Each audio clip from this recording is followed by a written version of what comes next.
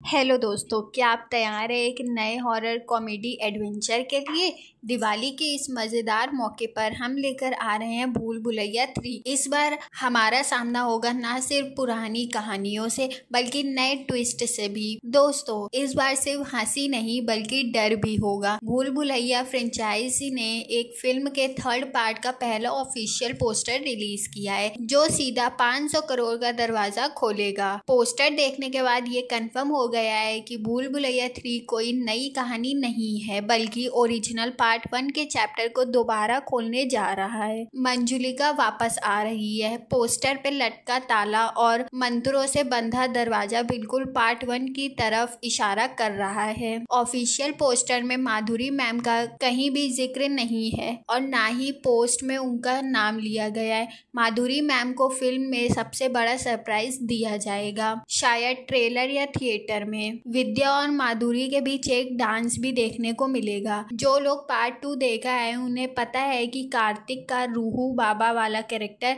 एक बहरूपिया था। लेकिन लेकिन कार्तिक वाले कैरेक्टर के अंदर सच में किसी की भूतिया शक्ति प्रवेश करने वाली है।